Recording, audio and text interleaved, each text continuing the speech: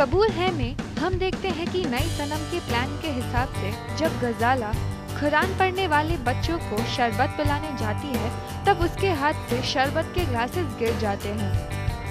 दूसरी तरफ़, शशि नाजिया को परेशान करती है। शाद के समझाने पर वो और सनम कुरान कहानी अटेंड करने आते हैं। जहाँ सनम अपने ख्यालों में शाद की जगह आहिर को देखती है और शौक हो जाती है।